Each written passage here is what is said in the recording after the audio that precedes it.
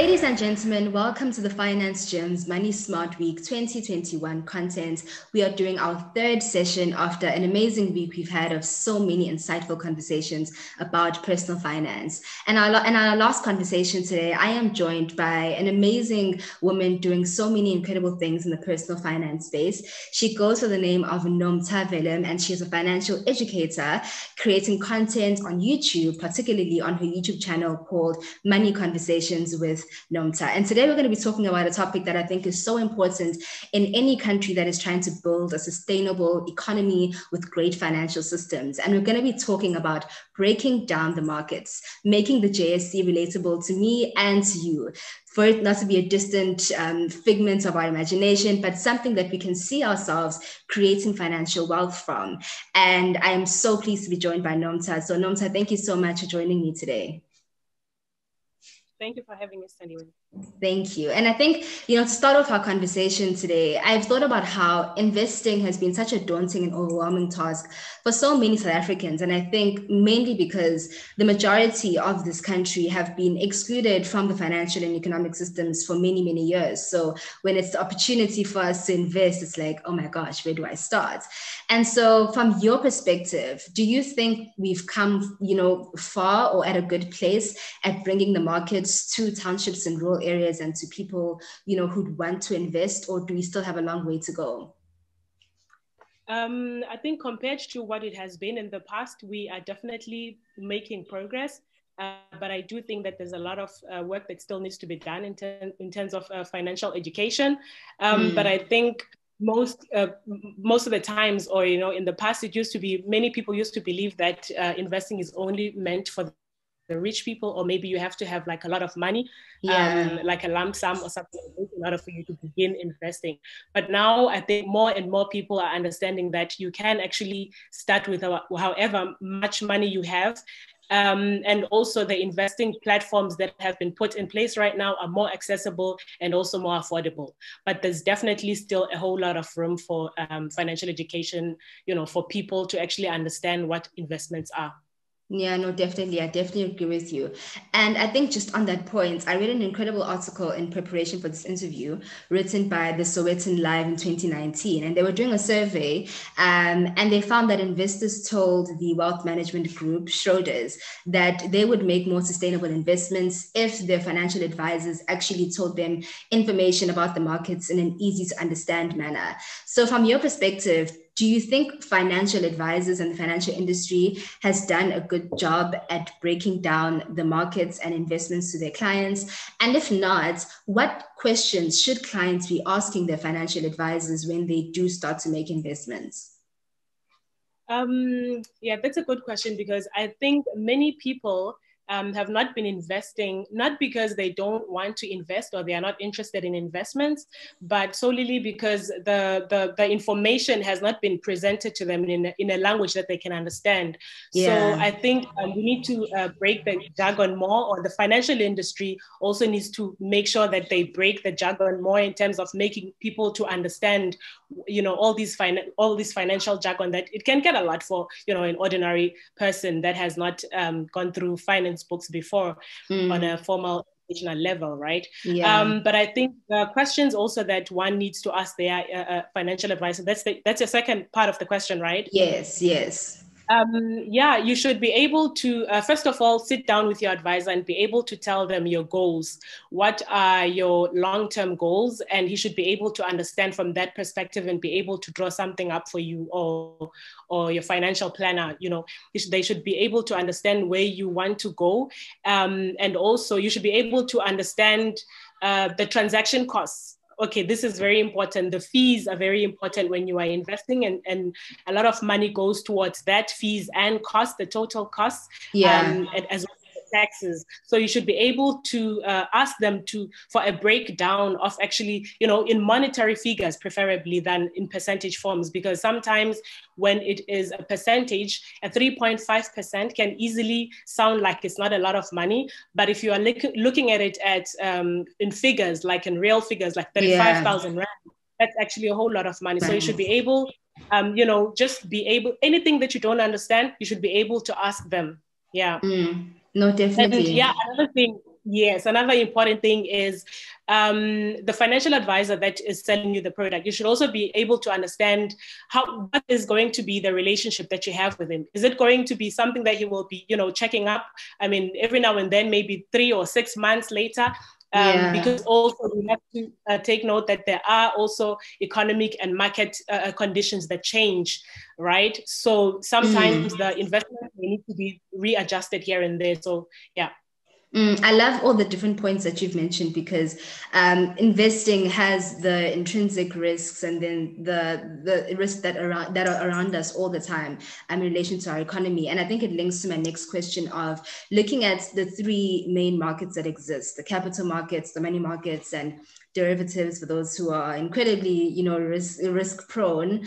Um, how does one know which markets they are better suited to invest in? What should someone take into account in their lives and how would they know um, that what they're going to be investing in is going to give them a suitable return? Okay, risk appetite. Um, you have to know what, understand yourself. What kind of an investor are you? Are you an aggressive, invest, aggressive investor, neutral, or risk averse? Meaning, um, are you more reluctant on taking on risk, right? So, mm. because, uh, for instance, the money market, and also again your goals. This is again important because what uh, do you have long-term goals or short-term goals? Because the money market, for instance, is more suitable um, for somebody that has short-term goals, and also because it's more liquid and um, Exactly. So it's more liquid. Uh, but then if you're looking at the stock, for instance, you should you should be able to uh, have like long-term goals. Um, let's say something like 10 years or, or even more. Mm. And also it's a very volatile market. So you should be able to be somebody that can, you know, take risk.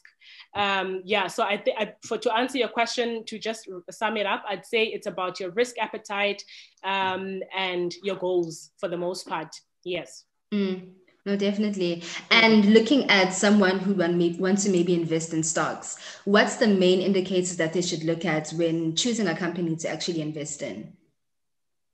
Okay, well, you should, again, you should look at what uh, the, the total cost of, of your investment is going to be. And also it depends if you want to uh, go for individual stocks or you want to go for ETFs, which is your exchange traded funds. So I personally prefer exchange traded funds because they are, this is like a basket of shares, right? yeah. That tracks a particular index.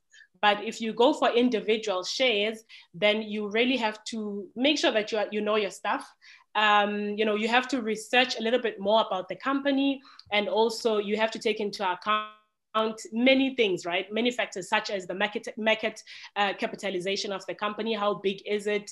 Maybe how long has it existed? Uh, just for those who may not um, know what market capitalization is, just break down that definition for us okay it's basically the size of the company how big the company is like mm. let's say for instance an example would be the top 40 jse uh, those are the top uh, biggest companies in south africa by market cap you know like yeah. how big they are right yeah. so yeah and you want to make sure that you invest in a well established company that has existed for a while so yeah that could you know make you relax a bit in terms of you taking on that risk. Because remember this is like a maybe you're probably in it for the long haul right? So yeah. you want a, a company that there um, for a while. And then another thing is um, dividend uh, dividend income. If you are it depends what you are looking for. What are you what do you want to get out of this whole investment? So if you are somebody that also is looking for dividend income um, and also maybe even capital appreciation, then those are the things that would interest you as well. So you want to know is the company, does the company pay dividends, um, etc. So because that money you can also use to reinvest it and allow it to earn compound interest for you. Mm.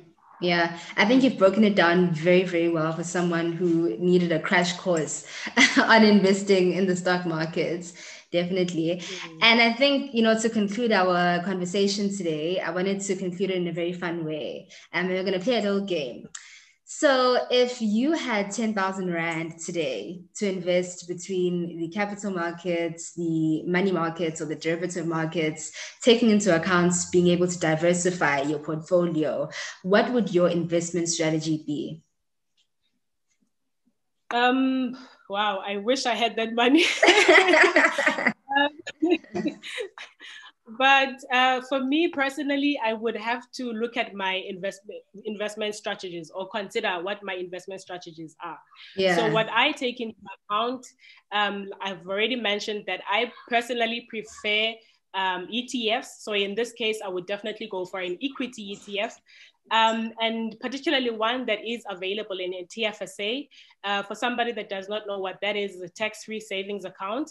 Um, and then I would look for one that because you know, like I said, with uh, with equities, you are actually looking to invest long term. So I would. That's why a, T, a TFSA um, is already something that you would be looking to put your money in, but that would probably stay for 15 years or more, right? So mm. then another thing, I would also go for something that has a, a global exposure or, or, or the geo um, the geo focus of it is international, right? So of that ET, of that uh, equity ETF that is tracked that is being tracked by that um, index. Okay, so yeah, but I think what else? Yeah, that's pretty much it. And of course, the dividend income. I love dividend income as much as I also love capital appreciation, but I love um, the dividend income because then it helps me be able to get money, uh, maybe quarterly. And then I can, I usually take that and then put it back in there and reinvest it and allow compounding interest to make the magic for me in yeah. terms of creating wealth yeah yeah and i think the, the power i remember warren buffett saying that the greatest um, benefit of mm-hmm. investing is just the power of compounding you know and if i think if i think we can get that in our communities to say if you invest your money it will grow on your behalf without you you know doing much just being diligent in your research um, and keeping up to date mm-hmm. with the markets it really is a route to achieving financial prosperity um, and i think increasing our financial literacy levels so very interesting investment strategy and from our side, Nomsa, thank you so much for the work that you continue to do. I think it's incredibly important to ensure that there's more organizations like ourselves and content creators like you who educate people about financial literacy because ultimately um, financial literacy is one of the keys to empowerment. So thank you for joining me today and thank you for the work that you do. Thank you so much. It was a lovely interview I had with you. I enjoyed it. Thank you. Thank you so much.